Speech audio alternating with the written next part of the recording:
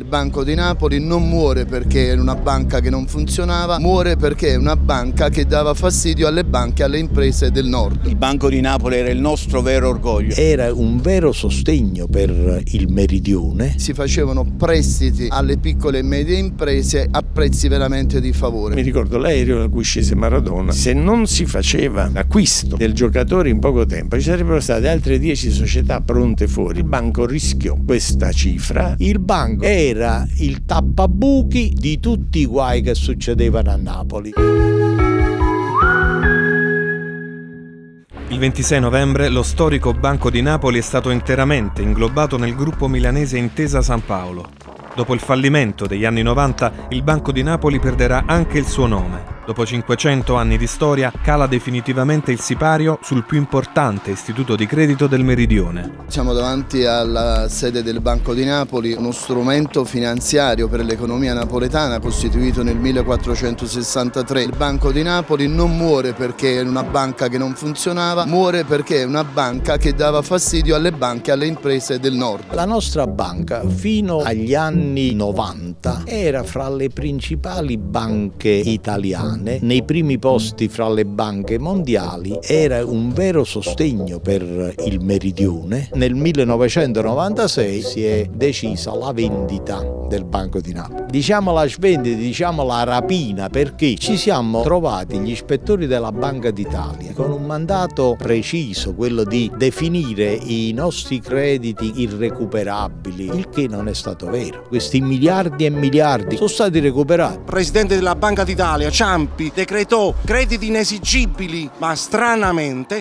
l'agenzia di credito, la SGA di Napoli, ha recuperato il 90%, sono quasi 6 miliardi di euro che sono andati a finire ad ingrassare il San Paolo di Torino. Carlo Azeglio Ciampi portò alla svendita del Banco di Napoli per salvare la BNL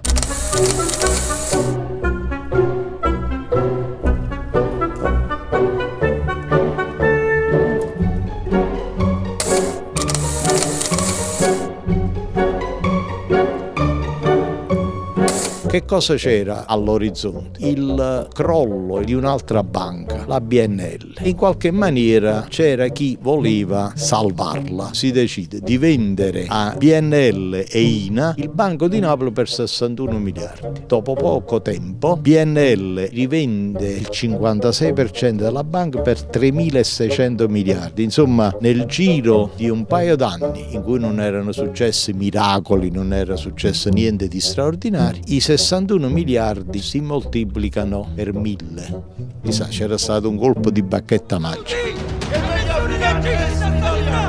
Salviamo il Banco di Napoli! Salviamo Napoli! Il Banco di Napoli era il nostro vero orgoglio. In ogni città del mondo avevamo palazzi, non sedi, e dovunque si andava c'era questo vessillo che rappresentava una storia plurisecolare della quale potevamo andare fieri. Mancavano i soldi al comune perché non si possono pagare gli stipendi questo mese. Il banco era il tappabuchi di tutti i guai che succedevano a Napoli. L'assistenza all'agricoltura della della nostra terra, parimenti nell'ambito del credito industriale che va dalla costruzione dell'edificio fino a quello dei grandi stabilimenti. Il banco ha fatto grandi attività. Sono passate per il credito industriale tutte le iniziative del meridione. Mi ricordo l'aereo da cui scese Maradona, se non si faceva l'acquisto del giocatore in poco tempo ci sarebbero state altre 10 società pronte fuori a sganciare un equivalente di questi 7 miliardi famosi. Il banco rischiò questa cifra impegnandosi a pagare. Si facevano prestiti alle piccole e medie imprese a prezzi veramente di favore. Se a una banca territoriale togli questa facoltà e la dai a una banca del nord è chiaro che stai uccidendo, stai facendo un danno incredibile alle imprese e quindi al territorio. Quando c'era una banca vicina al cliente che assisteva il cliente per le sue esigenze, gli veniva incontro per il mutuo, per il prestito, per il, si chiamava anche il prestito prestito di soccorso, ma ed era un vero soccorso. Oggigiorno a chi ci si rivolge? Allo strozzino, a chi fa l'usura. Quando il Monte dei Paschi di Siena doveva essere incorporato, la città di Siena insorse. Noi napoletani abbiamo dimostrato ancora una volta di essere indegni eredi di una tradizione nobilissima della quale ci saremmo dovuti dire orgogliosi. La presenza delle pochissime persone qui oggi ne è la fulgida, triste, squallida testimonianza.